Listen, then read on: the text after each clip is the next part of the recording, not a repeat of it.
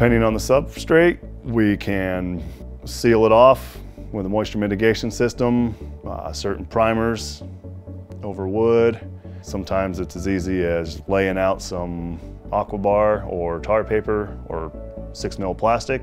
Uh, if it becomes too much of an issue or there's a uh, budget constraint, we will sometimes have to consider alternative products that are able to withstand moisture more than what they initially wanted.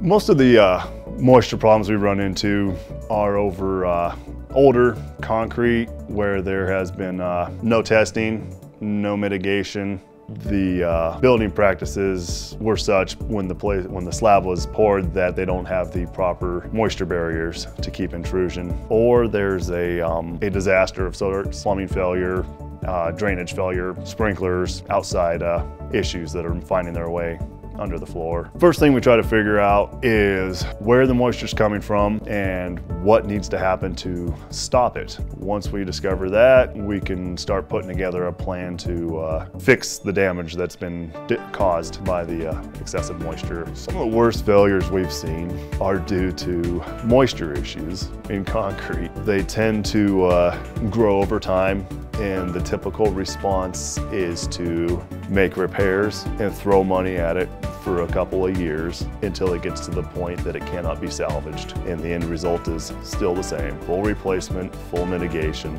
and doing it right the second time around. The biggest thing that I believe we need to consider when talking about moisture and stuff like this is the fact that when our homeowners especially, when they contact us and they're looking for a floor for their home, they're dreaming. They have a look or a product in mind. They don't understand all the stuff that can go wrong. They don't understand all the things that need to go right to have a successful installation that will last. And as contractors, we need to educate them and we need to stick to what we know is the right thing to do because this is a long-term investment. So we can't let short-term thinking dictate how that's done.